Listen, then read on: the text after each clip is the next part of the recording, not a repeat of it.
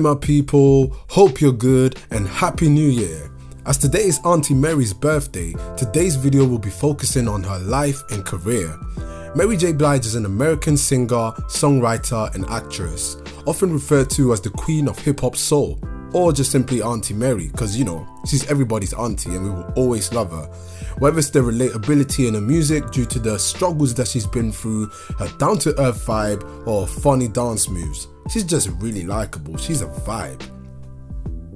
She has a very successful career in which she won 9 Grammys, 4 AMAs, and 12 Billboard Music Awards, amongst many others. Mary has also made a successful transition to both the television and movie screens, with supporting roles in films such as Prison Song, I Can Do Bad All by Myself, and Mudbound, for which she earned an Oscar nomination.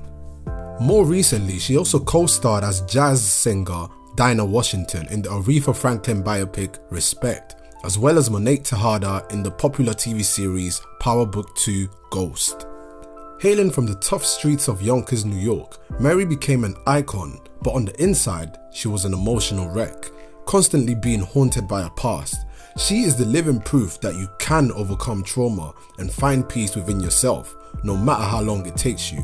This is Against All Odds, the Mary J. Blige story. Please don't forget to like, comment, and subscribe. It's your boy Drae Synes. Let's, let's get it, get it, get it, get it.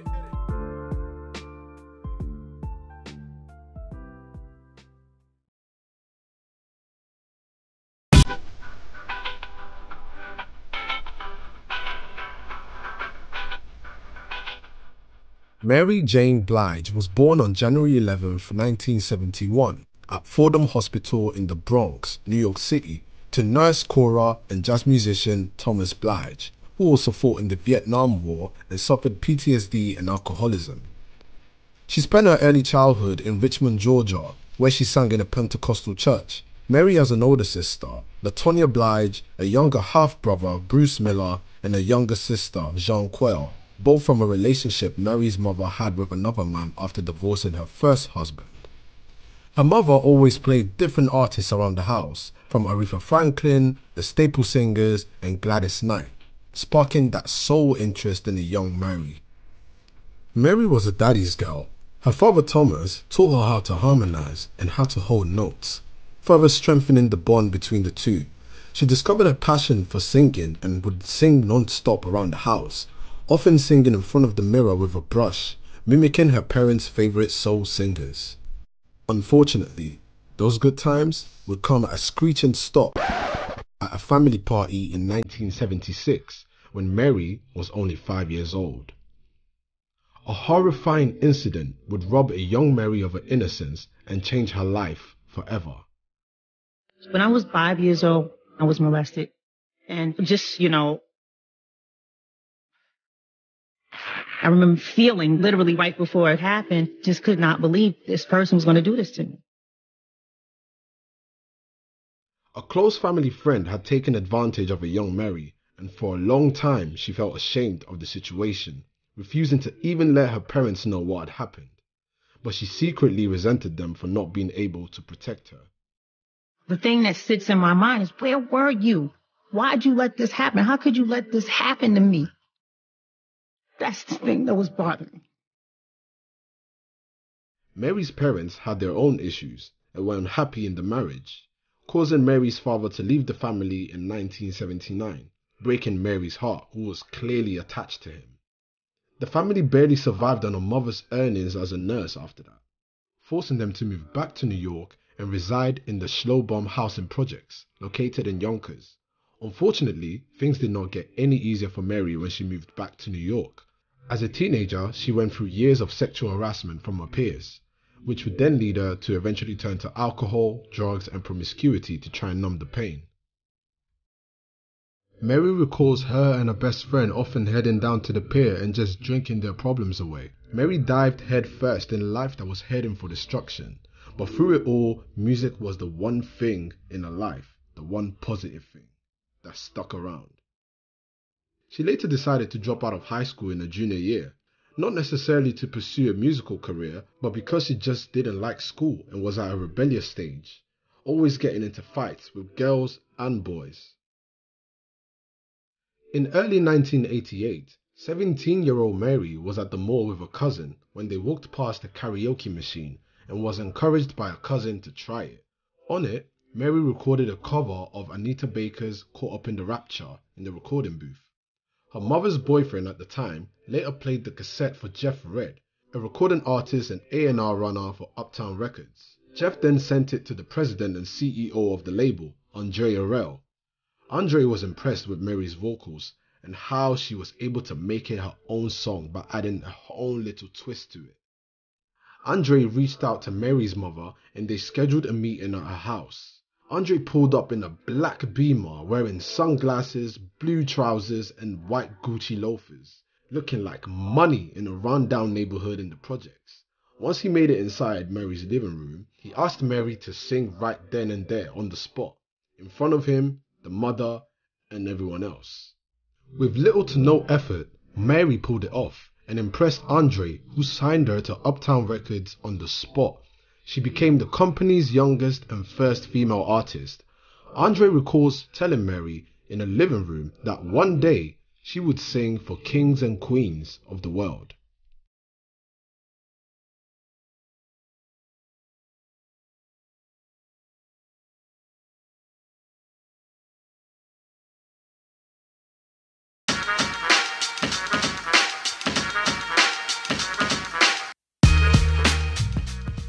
Now signed to Uptown Records, Mary didn't release anything straight away. This is because the label executives had a hard time creating a brand and didn't exactly know what to do with her. Mary didn't want to be another Whitney Houston or Mariah Carey. She was full on street and hood and wanted to stick to that flavor. Luckily, a 19 year old intern at the label knew exactly what to do with her. That was P. Diddy, he figured that trying to make Mary glamorous would be a wrong move. So he got his then girlfriend, stylist Misa Hilton, to link up with Mary and become her stylist. And with that, Mary found her new look.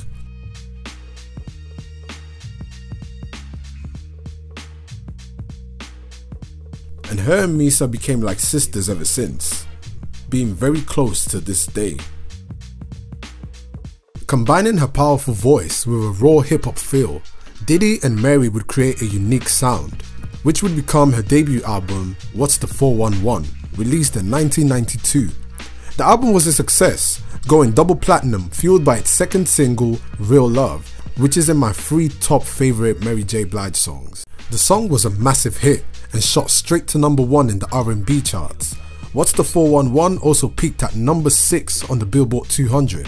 My favorite songs from the album are Reminisce, you Remind Me, Real Love, Love No Limit, and Slow Down. Top tier songs. With the album, she was dubbed the reigning queen of hip hop soul. The album's success spun off What's the 411 remix, a remix album released in December of 1993 that was used to extend the life of What's the 411 singles on the radio into 1994 as Mary recorded her follow up album. After the success of the first album and her songs being on radio, the checks finally started rolling in, and Mary J. Blige was finally able to move her family out of the Schlobohm projects and into the suburbs in New Jersey. Mary was over the moon, as it was always her goal to move her family out of the hood. The success, however, was bittersweet, as in winter of 1992, Mary would enter a fiery and toxic relationship with K-Ci from the R&B group Jodeci, who were also signed to Uptown. The couple brought the best and worst in each other, Andre Harrell recalls a time at a Mary J. Blige concert where K-Ci came out to perform a duet with Mary, but K-Ci was doing what K-Ci does, and that was getting all the girls excited with his seductive moves on stage, and that really annoyed Mary. When it came time for the intermission, the two had a big argument backstage where apparently tables and bottles were being thrown and flipped. I really liked him, and when I like you, I like you. I just fell in love with him. And I was in a relationship where we were both young, both super successful. I loved him, you know, but neither one of us could handle the success of our lives. So it became very um, dark, the whole thing, and abusive. The two were emotionally and physically abusive to each other. Impaired with Mary's inability to cope with the pressures of fame, she started using again. more specifically cocaine and alcohol, which sent her into a downward spiral. The fact that Mary has always been a bit of an introvert made it harder and scarier for her to be catapulted into stardom so quickly, so she turned to drugs and alcohol to make her feel comfortable. She was then diagnosed with clinical depression. In late 1993, Mary J and Puffy confided in each other as both of them were dealing with their own relationship problems at the time. It was then that Puffy encouraged Mary to channel her pain into her music, and that's when the work on her second album, My Life, began. On November 29, 1994, Uptown MCA released My Life to positive reviews. The album peaked at number 7 on the US Billboard 200 and number 1 on the top R&B hip hop albums chart, selling 481,000 copies in its first week and remaining atop of the R&B hip hop albums chart for an unprecedented 8 weeks. It ultimately spent 46 weeks on the Billboard 200 and 84 weeks on the top R&B hip hop albums chart. It is a fan favorite because of how personal the album is and how many people could relate to it. In contrast to a previous album, What's the 411, this album is actually a lot deeper and less party like. This album got some bops in it too, like Be Happy, Mary Jane, My Life, and I'm Going Down. Through it all, Mary was still in a relationship with K-Ci because when you're in love and you have all your friends telling you, oh, this guy's not good for you, you should leave him, it's hard to listen and to break away from that person. Unfortunately, though, one fateful night in 1995, during an interview on the UK television show The Word, the hosts asked Mary about her relationship with K-Ci. Mary confirmed that her and K-Ci were engaged. So these messy hosts played her an interview they had with K-Ci a few weeks earlier, in which he denied that they were getting married, completely catching a visibly upset Mary off guard. Let's have a look. And they should try to do something. I have to ask you this really quickly. Uh, Jodeci were on the show uh, earlier on in the series, and uh, Terry asked K-Ci this question. Have a look at this.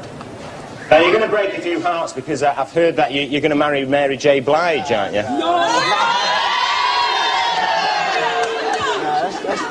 That's a rumor. You know what I'm saying? That's a rumor for the States, too, you know. K-Ci is not getting married.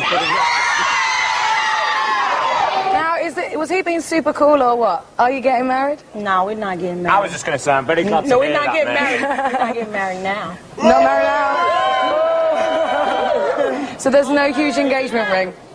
Oh, there, yeah, whatever. Let's Whatever. move on, please. Okay. I'm but now, disgusted. well, uh, last week... Poor Mary, man. And these messy reporters were loving it. They live for this kind of messiness. At this point, Mary's sister was practically begging her to leave him because of the embarrassment he was causing her, and even then, the couple was still on and off. After a few more years though, she was finally able to find the strength to leave him, and the two went their separate ways.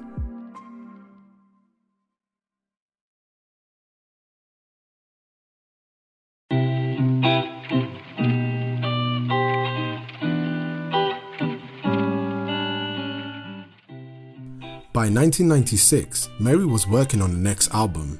At this time though, her relationship with Diddy was non-existent. In 1993, Diddy was fired from Uptown and started his own record label, Bad Boy Records, and quickly signed a then unknown Faith Evans as the first lady of Bad Boy. According to Mary, Diddy was molding Faith Evans after her, and Mary did not appreciate that at all. There's only one Mary J. Blige. I don't know, can run out and get how many girl groups and turn their hat backwards and fix their hair like mine, but they'll never be me because I'm just me. And I don't act out Mary. This is Mary every day. For this reason, Mary and Faith always had some kind of tension between them, which was made even worse when the whole Lil Kim, Faith Evans, and Biggie love triangle started, because Mary is close friends with Lil Kim. She also felt like once Diddy started developing Faith, he grew distant from her, causing Mary's feelings to get hurt. During the making and run of the second album, My Life, Mary experienced clinical depression while also battling drug and alcohol addiction, as mentioned before, all of which heavily influenced the dark mood of that album. In late 1996, however, Mary made an effort to clean up her life, quit alcohol and drugs, and subsequently found herself in a more positive frame of mind while recording Share My World, which influenced the album's noticeably lighter mood. Share My World was released in April of 1997. The album debuted at number 1 on both the US Billboard 200 and R&B albums chart with sales of 240,000 copies in its first week, marking Mary's first official number 1 album on the Billboard 200 chart. The album would eventually go on to be certified 5 times platinum, becoming her best-selling album to date. The album spawned 5 singles, Love Is All We Need featuring Nas, I Can Love You featuring Lil Kim, a banger by the way, Everything, another banger, Missing You and 7 Days. Things were looking up for Mary, but unfortunately the pattern of things going up and down for her seemed to have followed her once again. In 1998, while on tour for the Share My World album, Mary would see an unexpected face in Detroit.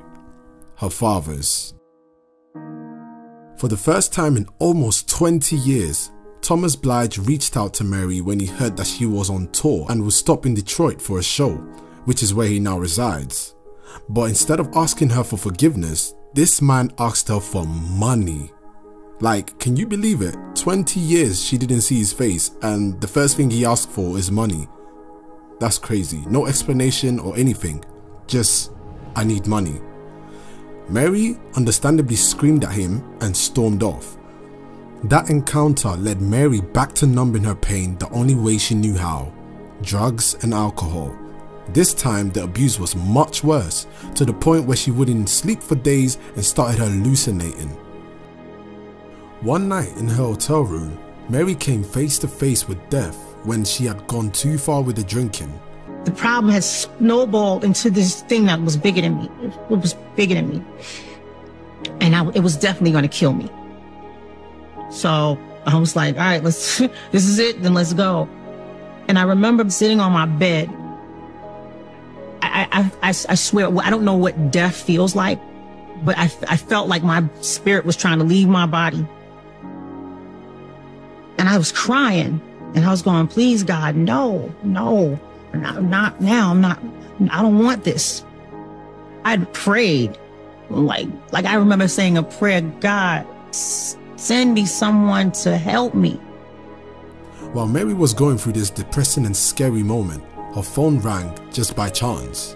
It was Kendu Isaacs on the other line, a music manager and record producer she had met a few weeks earlier. Mary and Kendu first met through Queen Latifah, Mary thought he was cute but left him alone because she thought something was going on between him and Queen Latifah. but little did she know, he was feeling her too and was aware of a drinking problem. Once Mary picked up the phone, they had a deep conversation about her struggles and she confided in him. In return, he offered some very good advice, almost like a therapist. He would challenge her and ask her, why do you drink? Mary would say, because I hate myself and he would be like, Why do you hate yourself? And she would answer and he would question her again and again and so on, eventually making her realize why she was partaking in this destructive behavior. She just needed someone to level with her. Kendu told her that together they're gonna start the healing process because she had been healing incorrectly.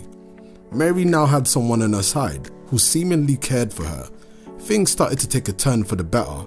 In that same year, Mary would begin work on her next album, simply titled Mary, which would then release the year later in 1999.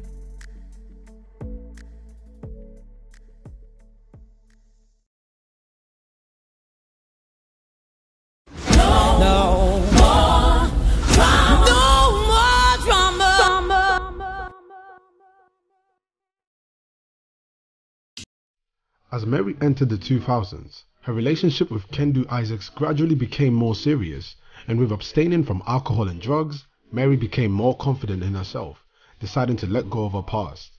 This sentiment was reflected on her next album, No More Drama, released in August of 2001. The album's first single, Family Affair, produced by Dr. Dre, became her first number one single on the Billboard Hot 100, where it remained for six consecutive weeks. The single to follow was No More Drama, another classic song from the album. No More Drama debuted at number 2 on the US Billboard 200 and at number 1 on the R&B albums chart, selling 294,000 copies in its first week. The album also received two Grammy Award nominations for Best R&B Album and Best Female R&B Vocal Performance. As Mary got back on her feet and was now in higher spirits, Kendu asked her the question she had been waiting for almost her whole life. He said, will you marry me? Uh, and I, yes. You? Absolutely, I will marry you. I never felt safe before. And obviously he felt he had found the love of his life because men don't ask you to marry them. Like not a woman like me with the past that I have. He also became a manager. Shortly after the two got engaged, Kendu had a surprise for Mary, one that could either F up her day or further heal up her wounds. Kendu tracked down and brought Mary's father to her, who apologized and asked for Mary's forgiveness. This time, Mary fell in his arms, crying, just overwhelmed by the emotions. I fell in this man's arm like I did when I was a little kid. Like I rested my head on his chest, started breathing again. I started feeling like a little kid again, like the hardness was leaving me for him. When I actually started feeling better, you know, and then the reconciliation came after the forgiveness. As Mary reconciled with her father, she would also reconcile with Diddy, and the two began working on a sixth studio album, Love and Life. The album was a success, debuting at number one on the Billboard 200 and spawning one of my favorite Mary J. Blige singles, Love at First Sight, featuring Method Man. 2003 was a good year for Mary, so it was only right to close the year with a wedding, when she would marry Kendu on the 7th of December 2003. Mary wanted the wedding to take place in her house, to be small with only family and friends present. The wedding was really close knit, with only 15 people present which speaks to how Mary lives her life in a tight circle.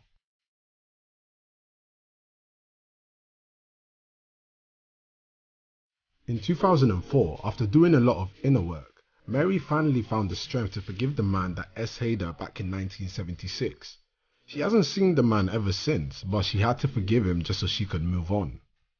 Because why should she have to carry the burden of the mess that he did? That's his demons, not hers.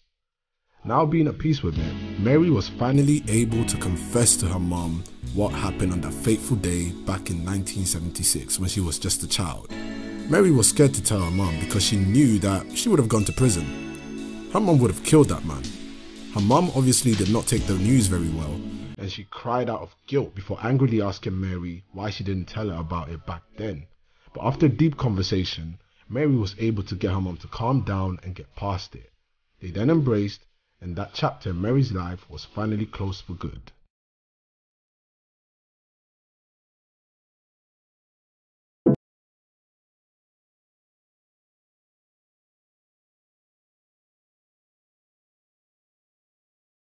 Two thousand and five was definitely Mary's year, as in that year she released her biggest album to date, The Breakthrough, the album debuted at number 1 on both the US Billboard 200 and Top R&B Hip Hop Albums chart, selling 727,000 copies in its first week. It became the biggest first week sales for an R&B solo female artist in SoundScan history. The album spawned one of her most successful singles, Be Without You, which became a smash hit almost immediately. The album will eventually go three times platinum and win her three Grammys. With all the fighting she has done in her personal life and career up to that point, it seemed like her hard work finally paid off and it permanently solidified her name in the industry. All of that didn't slow her down at all though, as over the next four years she would release two more albums and finally get the opportunity of a lifetime.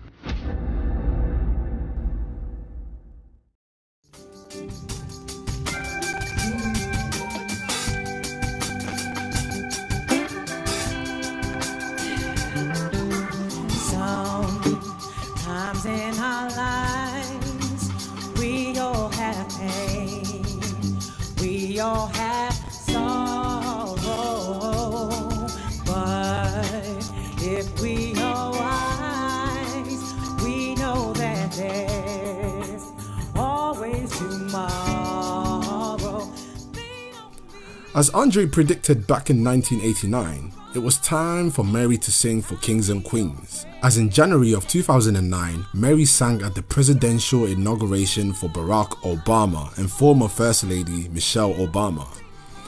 The little girl that used to sing in her living room in the broken down projects of Schlobohm was now standing on the steps of the Lincoln Memorial singing for the president. This moment showed a lot of people from poor areas that anyone with a talent that takes their craft seriously can end up doing big things in life. Not only from Mary's side, but from Obama's side as well. Here are two individuals from poor areas now at the height of their achievements. What a sight to see.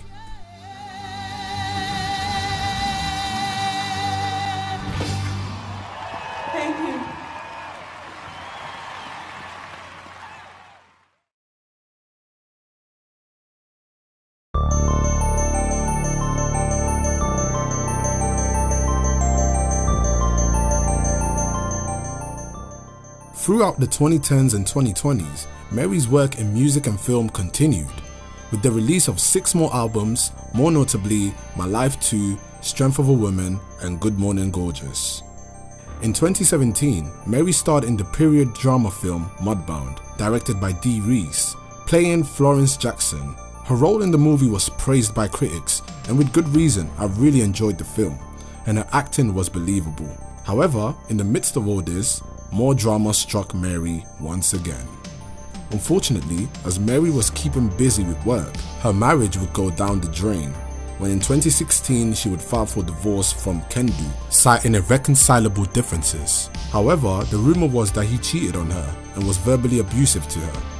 The court documents showed that Kendu was allegedly using Mary's money to spend on his new girlfriend. The audacity on this man. And to add insult to injury, the court had ruled that because she earns more money than him, she had to pay him temporary spousal support of $130,000 per month. Sheesh! The divorce was finalized in 2018, and though Mary has stated that she is open for love still, she also stated that marriage is not in the cards for her anytime soon. I don't blame her. Anyway, she continued her acting career. In 2020, Mary played a leading role in the horror film Body Count. Mary also currently Starz as Monet Tejada in Power Book 2 Ghost, the first spin-off for the highly rated stars drama Power, which premiered in September of 2020. On February 13th, 2022, Mary performed at the Super Bowl halftime show alongside Dr. Dre, Eminem, Kendrick Lamar, Snoop Dogg, and 50 Cent. I proper proper enjoyed that whole show from start to finish. The production, the music, absolutely 10 out of 10. It took me all the way back because I grew up with these artists.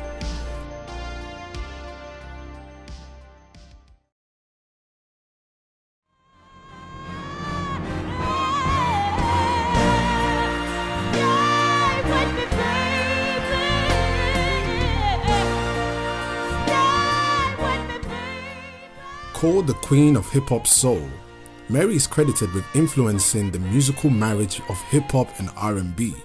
African American scholars have noted the implications of Mary's presentation and representation of black womanhood and femininity in the typically male-dominated genre of hip hop. Mary J. Blige is credited with articulating black women's experiences in a more factual and objective manner than those that came before her. She would tell you what's going on in her life, straight to your face. No hidden meanings, no lyrics to decipher, just straight and direct. Many notable artists named Mary J. Blige and her work as an influencer to their art, such as Beyonce, Adele, Summer Walker, Teyana Taylor, Taylor Swift, and even Sam Smith, whom she worked with in the past. I'm not a big fan of Sam Smith, but that's besides the point. She continues to speak to the masses through her music about loving yourself. She empowers women to continue to push when faced with adversity and overcome trauma. She presents herself as a living testament of that. We at Throwback Central wish Auntie Mary all the best and hope that she continues to win against all odds. Because you can't hold a good woman down.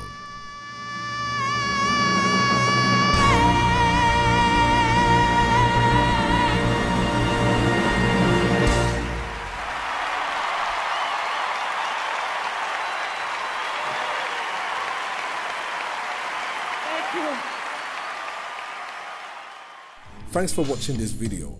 Don't forget to like, subscribe and share. I'll catch you on the next one. It's your boy Drae Synes, over and out. Peace.